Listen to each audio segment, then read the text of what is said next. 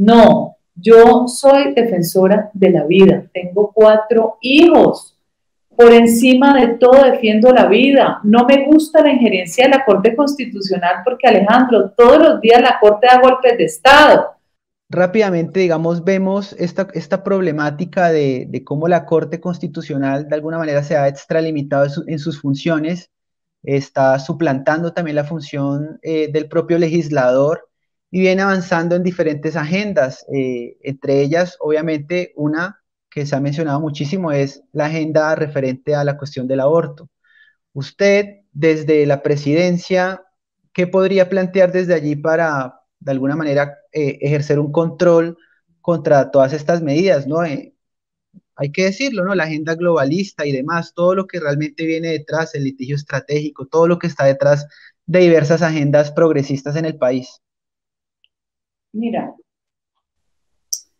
el mundo está yendo, está siendo empujado hacia el gobierno global, que es lo más perverso y pervertido, porque vuelven y pretenden anular al individuo.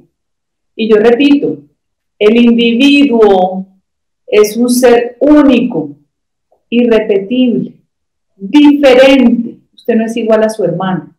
Usted tiene sus capacidades y él tiene las de él. ¿Por qué la pretensión de colectivización de la humanidad?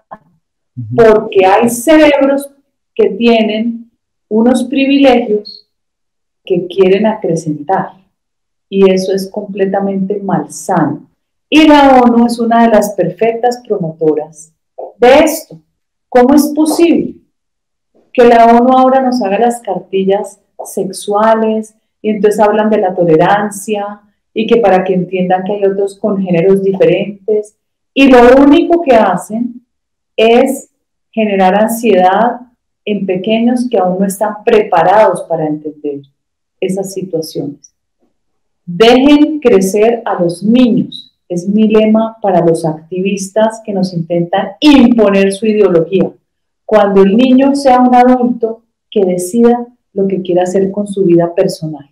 Detesto las cartillas que hacen colectivos y activistas, mucho menos para niños menores de edad cuando esa sexualidad temprana lo que les produce es ansiedad. Ahí encontrarán conmigo una pared. No hay nadie que más te quiera que tus propios padres. El Estado no tiene por qué tratar a los padres ni imponerte nada por una convención internacional dándole cabida a todos estos promotores eh, del colectivismo mundial, ¿no? Uno. Dos, las causas justas. Acuérdate que ellos se adueñan de las causas justas. Entonces, el medio ambiente, pues claro que hay que cuidar el medio ambiente porque es el agua, es, es el oxígeno, hay que respirar, hay que vivir. Pero ellos la usan y la pervierten y te quieren devolver a vivir no en la de piedra, sino peor. Quieren que no haya desarrollo para absolutamente nada. Eso no lo acepto. El ser humano tiene, además, con su desarrollo y su raciocinio, la capacidad de transformar sus recursos naturales para tener una mejor calidad de vida. Que haya que prevenir, que haya, cada vez que usted hace una acción que genere una afectación ambiental, usted tiene que hacer una mitigación, pero que esto no se vuelva una cárcel, como lo están promoviendo con el acuerdo de Escazú, que es el acuerdo más peligroso y más macabro que yo me he leído. Aquí no vuelven a construir un puente un túnel, nada, porque ellos todo lo quieren acaparar y darte garrote. Esos colectivistas también están con el tema del aborto. Me parece que son totalmente degenerados y han llegado hasta el punto de lograr en la Corte de Estados Unidos que el aborto creo que es hasta, las, hasta los ocho meses, 32, 34 semanas. Oye, ¿qué mujer se le ocurre eso? Por favor, tenga su bebé, si usted no lo quiere de pronto de una familia que lo necesite y lo quiere y le va a dar amor, tiene que ser un bárbaro.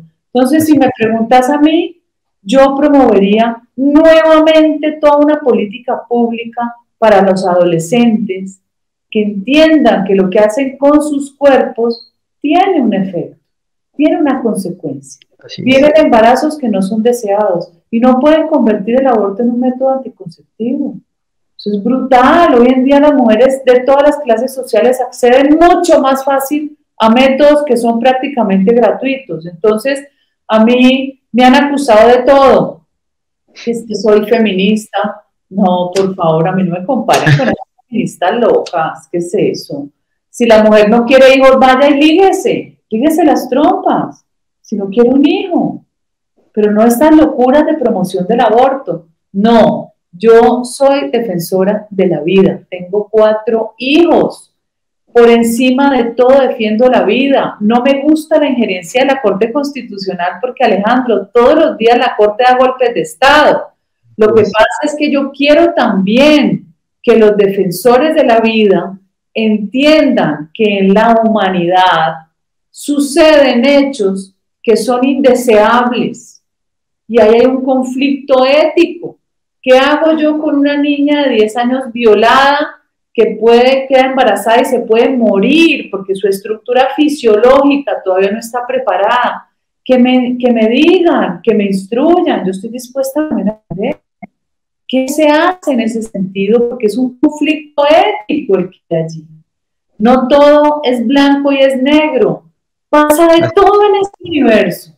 Y uno no puede tampoco decir, no, entonces no importa, la vida de la niña no importa porque el, el bebé también es vida. ¿Qué hacemos allí? ¿Cómo hace uno con un tribunal eh, de ética para resolver esa situación? Entonces, educar, educar, educar, educar, educar, educar, educar, y nunca terminarás de educar. Esa es mi angustia sobre situaciones que se presentan y la rica tiene más facilidades, la pobre no. Es una realidad. Senadora, muchísimas gracias por acompañarlos, acompañarnos a todos. Ha sido un placer. Espero que nos veamos próximamente, ya cuando sea la candidata presidencial oficial de su partido y que podamos brindar también con un run out, ¿cierto?